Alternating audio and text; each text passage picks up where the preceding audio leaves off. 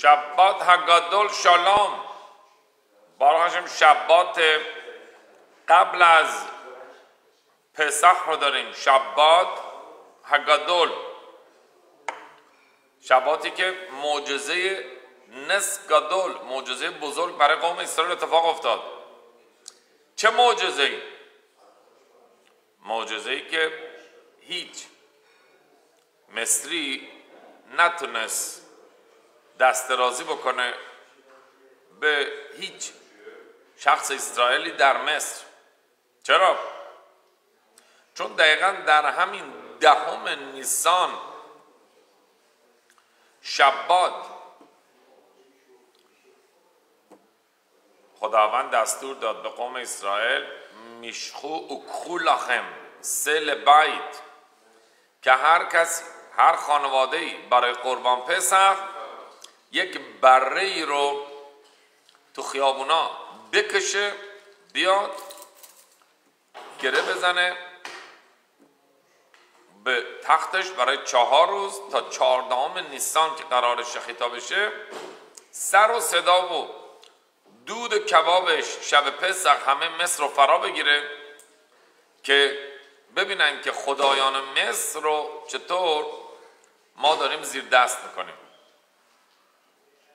و با اینکه مصریان می‌دیدن که بن اسرائیل چی دارن به سر خدایانشون میارن؟ این بره این گوسفنده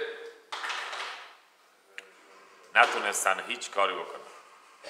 یعنی در واقع برای یک گئولایی که خداوند برای قوم اسرائیل قرار داد خودش ده ضربت آورد تا این حد از خودش خداوند مایه گذاشت. اما از بن اسرائیل یک چیز بیشتر نخواست و اون چی بود؟ مسیرت نفش جانفشانی. که از خودشون مایه بگذارن. خودشون رو دل بزنن به دریا جرأت به خرج بدن. با اراده از راسخ بگن خداوند گفته نجاتمون حتمیه.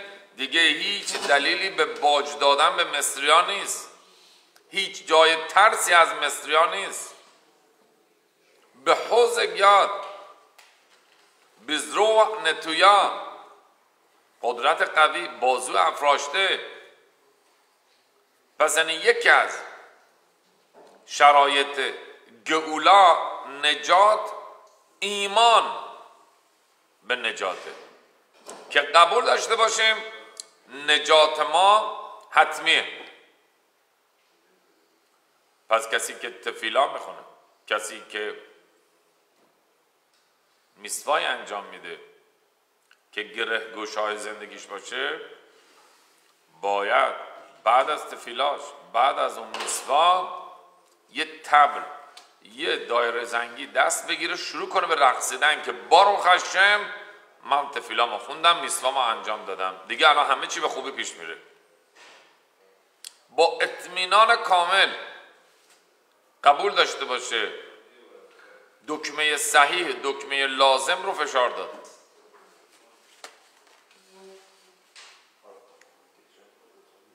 آمین. مگر بارها نشده که موقعی که یک بار ماشین اتومبیل در هنگام رانندگی متوقف میشه. نگاه می‌کنیم تازه میافیم ای بابا بنزین یادمون رفته بزنیم. آیا موقعی که میریم بنزین می‌خریم می‌زنیم؟ آیا دیگه هیچ نگرانی مکانیکی کسی دیگه رو صدا می‌کنیم میگیم بنزینش تمام شده اینم بنزین. دیگه الان باید کار بیفته دیگه. الان باید روشن بشه. با اطمینان که همین که بنزین زدیم الان روشن میشه. ادامه میدیم. اما کسی که سر از کار ماشین نداره ترس ورش میداره. اقرب بار برس بخونه که آیا چی شده که اینجوری شده؟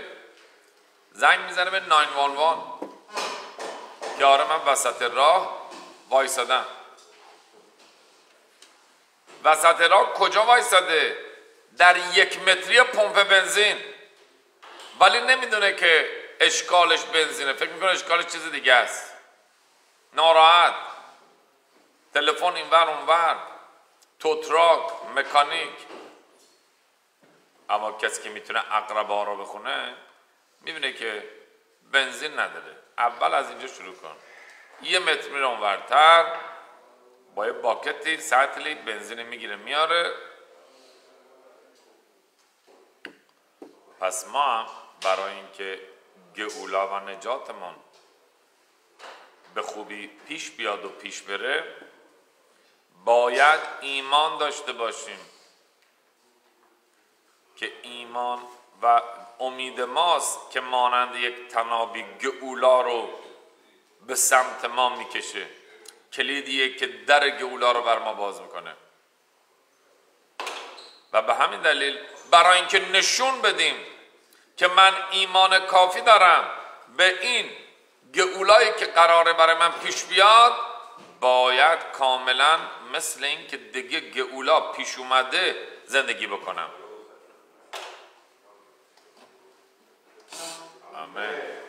شب پسح خداوند بن اسرائیل همینو خواست.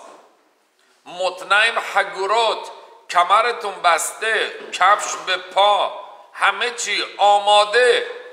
مگه قرار بود شب حرکت بکنن قرار بود صبح حرکت بکنن؟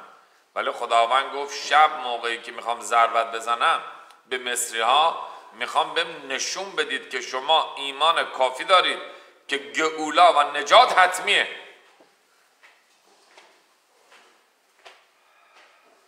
تعریف می‌کنه در مورد از حخامیم که در دوره خشکسالی بیبارونی از جماعت می‌خواد که همگی بیان در خارج از شهر یک زمین وسیع بوده همگی شروع کنن به تفیلا خوندن. ولی گفت به یه شرط که همگی با ایمان کامل بیاید با امیدواری کامل. همه میگن صد البته. زن و مرد و بچه و جوان و پیر. همگی پا میشن میان. اون زمانی که گفته بودن اون روز برای دعای بارون. راب نگاه می‌کنه می‌بینه نزدیک به دو سه هزار اومدن. که تفیلا بخونن هرچی وای میسن تفیلا رو شروع نمی‌کنه. میگن ها اشکال چیه؟ گفت مگه قرار نبود؟ که با ایمان و با امید بیایم برای دعای بارون. گفتن آره خب همه ما با ایمان و امید اومدیم. گفت اگر شما با ایمان و امید اومده بودید برای دعای بارون چرا هیچ کدومتون یه دونه چتر دست نگرفتین بیایید؟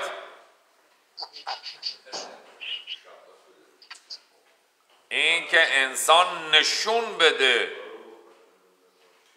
که الانه که ما این تفیلامون در شامایم رو باز بکنه گئولا رو نجات رو نصیبمون بکنه بارون رو شروع کنه به باریدن. چترت کو؟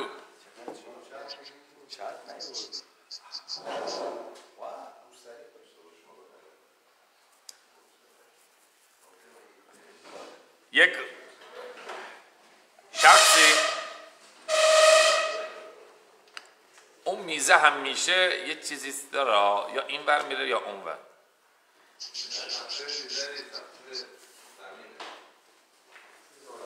یک شخصی خاصید یک ربه بود. و برای چندین سال در انتظار فرزند بود. خاصید و گبای اون ربای بود ربه بود. مردم رو را مینداخت به مردم نوبت می‌داد. ربه رو این ور اونور می‌برد. گبای شماش ربه بود. یک بار یک زن و شوهری میان پیش ربه. ربه یکی از حسیدیم. و براخایی برای فرزند می‌گیرن. ربه هم بهشون براخایی میده. سال بعد به عنوان تشکر میان پیش ربه. با یه هدایایی با یک تشکری. اون خاصیده یه ذره بهش بر می‌خوره این گبایه یه ذره اخماش تو هم میره. میره پیش ربه میگه ربه من ده سال گبای تا هستم و تا هم می‌دونی که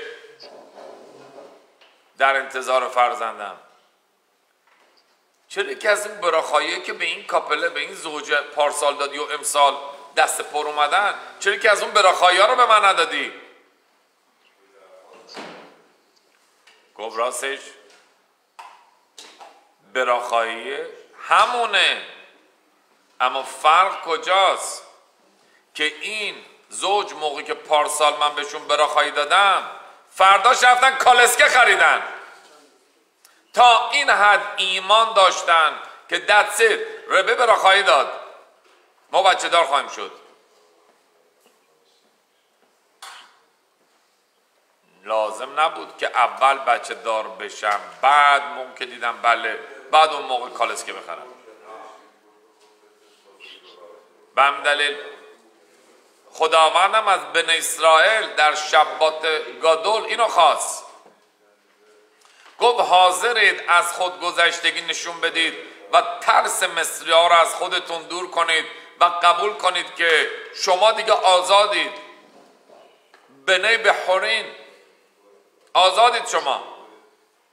دیگه این جای ترسی نیست. لیل شموریم. شب است کاملا محفوظ. پروتکتد. به حدی که ما شب پسح بهش میگن لیل شموریم یعنی شب محافظت از جانب خداوند.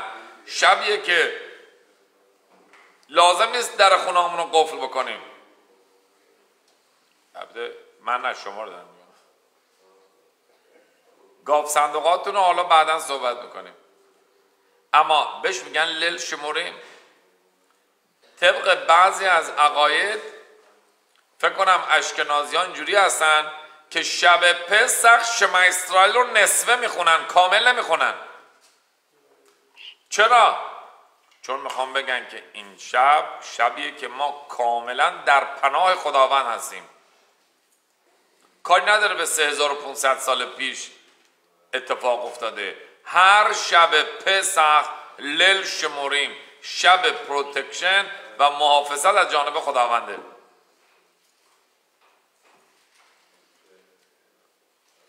پس خداوند گفت ببین اگر می‌خوای حقیقتت همیشه معلوم بشه که به چه ایمان داری و به چه امید داری در هنگام تنگنا حقیقت تو معلوم میشه. نه در هنگام راحتی و فراخت در هنگام تنگنا. موقعی که تحت فشاری اون حقیقت تو معلوم میشه.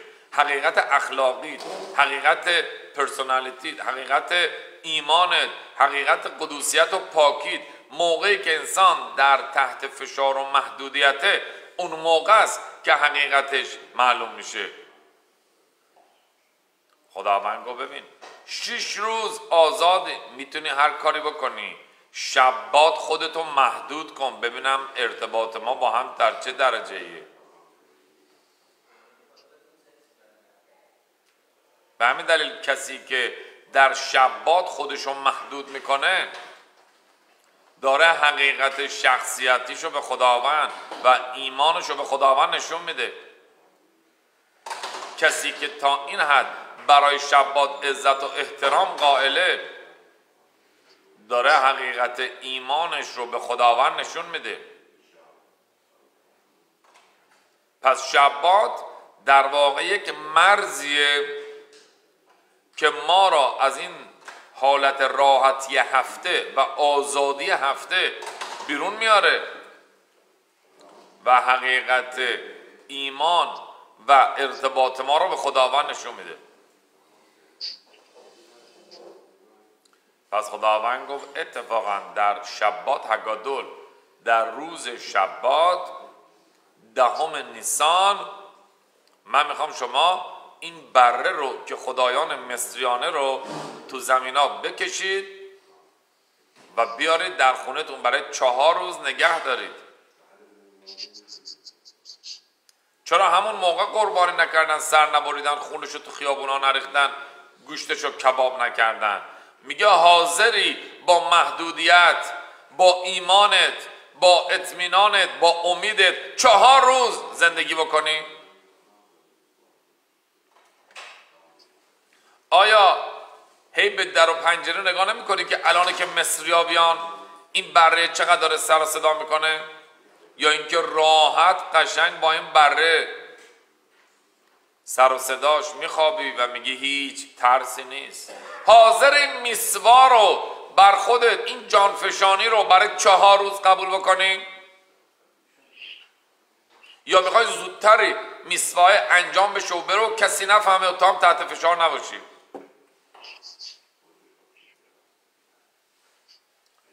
پس ما از شبات هگادول معجزه بزرگ می‌تونیم این درس بزرگ زندگی رو یاد بگیریم. و اون چیه؟ از محدودیت نترسیم. اتفاقا محدودیت ها تنگناها مرزها تمام اینها آزادی فکری به ما میده آزادی ایمان به ما میده که ما رو بهتر هم به خودمون و هم به خداوند میشناسونه. که خودمون می‌فهمیم تو چه درجه ای هستیم. تو چه لولی هستیم؟ موقعی که یک معلم ورقه امتحانی رو به اون محصل میده به نظر شما برای اینکه اون معلم بفهمه این بچه چقدر درس خونده یا برای اینکه اون خود اون بچه بفهمه که چقدر بلده؟ برای کدوم این, این ورقه امتحانی؟ برای خود بچه. برای هر دو. هم معلم بدونه که این بچه الان تو چه درجه ایه آیا هنوز می‌تونه کلاس بالاتر بره یا نه؟ و خود بچه بدونه که بابا از ده تا سوال چهار تاشو جواب دادی. خاطرات نیست کلا دارم میگم. این که شخص از نیسیونوت از شرایط محدود زندگی نترسه. و شبات داره میگه ببین بیا تو مرز خداوند. بیا این محدودیت خدایی رو بر خودت قبول کن که اون چهره خداییت معلوم بشه که واقعا تا چه حد تو درت پیشرفت و یا قدرت الهی وجود داره. ظرفیتت چیه؟ تا این حد. با این داستان خاتمه میدم که یکی از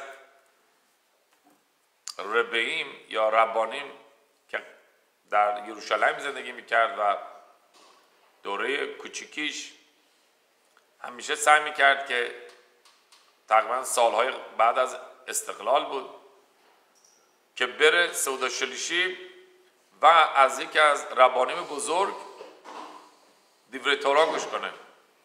یک بار که داشت می‌رفت اصر شبات یک بار چشش تو این خیابونه. کوچه پس کوچه های اون موقع یروشلایم نه دزینگو هنو نساخته بودن. یروشلایم یک بار چشش افتاد به یه سکه عثمانی اون موقع طلای اون موقع. اول گفت چیکار کنم؟ بردارم بر ندارم. این چیزا. شبات رفت می‌گفت چیه؟ پاشو گذاشون رو گفت تا آخر شبات ما میسم که شبات برای خوابش بعد ورش دارم. اون منطقه منطقه تقریبا عربی بود. دیدن یه بچه اسرائیل با پئوت و با پرنسسیت و این چیزا لباس تقریبا اسرائیلی. وایساده تو این محله کوچه اصلا ولکن هم نیست وایساده یه نقطه و نمیره. بچه های دیگه میان رد میشن بزرگا میان رد میشن. همه شکشون می‌بره و یک بار یکشون که یه ذره چیز که ببینم؟ چیزی رو پاته. حالا اینم بنده خدا دو ساعت اونجا وایستاده بود. یه نیم ساعت دیگه مونده بود شبات بره خوابشه. میگه چیزی رو پاته. اینم میگه هیچی همجور میگه. پچه اینجا وایستاده دو ساعته. پلش میده می‌بینه اه. سکه کجاست؟ زیر پاشه. زودی دست می‌کنه سکه رو بر میداره و می‌ذاره فرار رو. اینم ناراحت گریون. میره کنیسا. میره کنیسا بعد از عروید اون ربای می‌بینه که این چقدر تو خودش ناراحت. معمولا بچه شنگولی بود.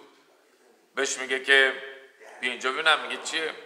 میبرتش سر میزش.